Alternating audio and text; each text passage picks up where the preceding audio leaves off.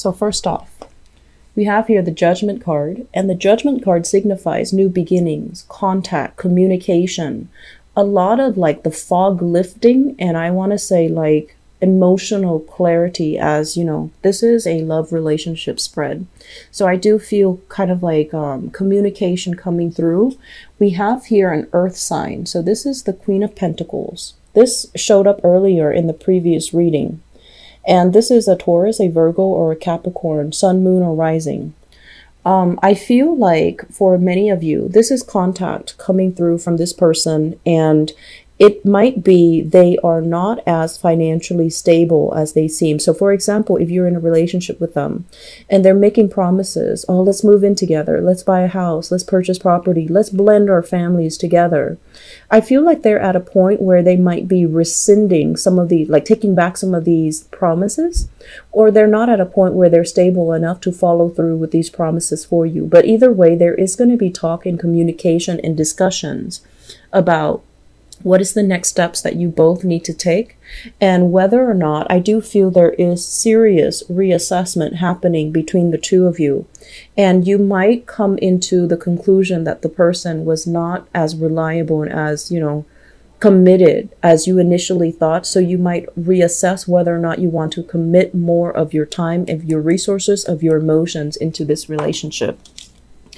In the past we have here the Eight of Pentacles, as well as the Temperance card. The Temperance card. This is a card about patience. This is a card about, you know, mastery, doing something very, very diligently, even though it might not, it, even though it might not like, um, it, it can seem very tedious and it can seem very restrictive.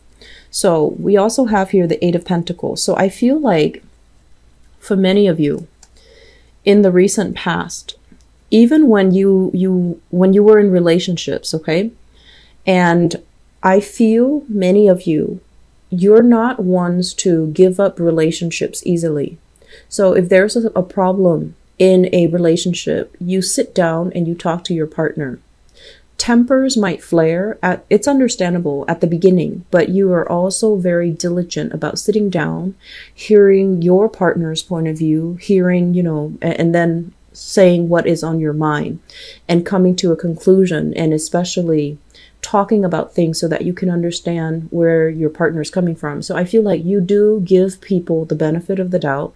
You want to hear both sides of the story before you can even make up your mind. And what I'm sensing is this is a process that you have done over and over and over and over again.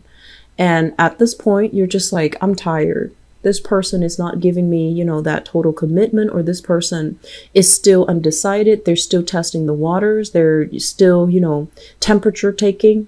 And so you might feel like you want to withdraw your, you know, your, you want to withdraw your love and your affection because you just feel like it's not really going anywhere. It's not going to uh, fast enough in the manner that you'd hope. And also the other person might be distracted with many, many other options or they're distracted with their work and they're not making the proper time for you. And I do feel an element here about somebody working too much, somebody being like a slave to money, somebody who is neglecting their emotional relationships as a result of work obligations, work, finance, money obligations. If you are dealing with a Sagittarius, they're not the best this is the card of Sagittarius, the Temperance card. They're not the best at time management, so I feel like giving them a little bit of slack or leeway is going to be helpful for you mainly because you know they tend to overestimate the amount of time that they have. So they're always showing up late or they always make promises. And and when they can't follow through it's not because they're malintention it's just they overestimate the time that they have the resources at their disposal and they make promises that they realistically cannot follow through. So it's more like done in the spur of the moment without thinking about the long term longevity of it okay and so i'm also sensing many of you have been dating around like you know this is kind of like dating uh, looking at profiles looking at all the you know sending out pieces of yourself so i'm sensing you might have gone through you know for those who are newly single you might have feel felt a little bit jaded like going through the motions of dating and then you feel like finally you've landed somebody, might be an earth sign, and then you feel like they're not as committed. And so you're back to square one. And it can feel a little bit frustrating. Okay, so I'm going to move this closer so you can see the cards better. At the center of the spread, Ten of Wands. This is moving away from a situation in the reverse position. It's just basically dropping a very, very heavy load, a burdensome relationship, and moving on. The death card is very, very final. It's a major arcana card, and it basically means not looking back.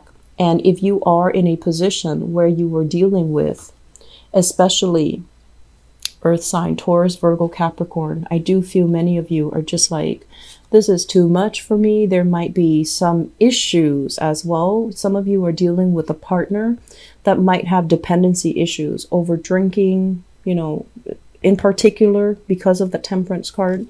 And so you don't want to get dragged down with their lifestyle. And you're feeling like this is relationship, if I stay in it any further, it is going to destabilize me financially and emotionally. So you're protecting yourself and you're trying to move past it.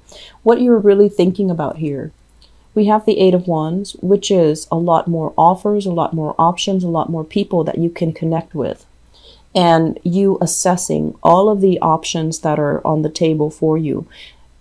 It's like there the options are presented but you're thinking heavily about you know the great love the, the mind-blowing the life-changing relationship partner that ought to be in the picture for you. And for whatever reason you're doing the dating but no one is really you know 100% making the cut and so I do feel that for many of you, you're forced to move on from a relationship partner that you still really greatly care about. I'm seeing earth signs, Taurus, Virgo, Capricorn. I'm also seeing that um, Sagittarius energy, okay? Moving forward into the future position, there is going to be communication, there is going to be contact. And the Ten of Swords is a situation that's like at the end of its cycle, but it's making a comeback. So when something is at an end of a cycle, it means it's basically not meant for you anymore. And so if you purposely, consciously go back to it, you're stuck in that cycle. It's a feedback loop, like an endless negative feedback loop. And so I would warn you there is contact, communication coming from a person that you really care about. They're not at a point in their lives where they can give you what you want.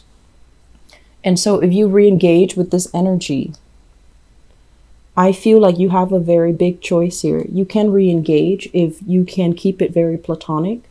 But on the other hand, if you're re-engaging and you're hoping and praying that things are going to get better, I do feel that you're better off going with new choices, new options on the table for you.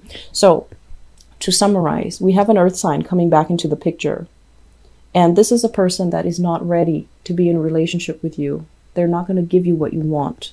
They might want to, but I feel like external circumstances are really getting in the way of them being able to give you that commitment. And so if you're initiating contact, just be aware of that. If you're hoping for other things to come into the picture, let other things come into the picture. And I'm also sensing as well, honestly, Libras. I feel like many of you are single and you're dating and you thought dating, you know, was going to be like very, very prosperous. It's like you, you would think that there were plenty of fishes in the sea, right? And so you would think that the right person would be in the picture right now. And while there are a lot of options, none of them are really, you know, exceptional. But at the same time, I feel like relationships are always a two way street. So, what you get out is what you're putting in. So, I feel like some of you need to not judge things too harshly or judge people too prematurely and let them, you know, um, cultivate the friendship and the relationship with them. Because I feel like you might prematurely cross somebody off your list even without giving them a second chance or even without giving them a chance. And then you're wondering like why can't i have you know that love that i used to have with my ex? And so they're saying people are all different. So we need to you know approach love and relationships with a little bit more of an open mind so that we can connect with new people so that we can kind of um, allow new people to come into the picture so i feel like you're better off waiting for new options rather than re engaging with the past because you feel like you're not making the traction in the success in the new dating life, okay? So, with the center of the spread, we have the death card. It's urging you to move on. It's urging you drop whatever burden has been problematic. Drop whatever relationship has been very burdensome for you because it was very destabilizing. You needed to heal from relationships right now. You need to heal from it before you can achieve a partner that is right for you.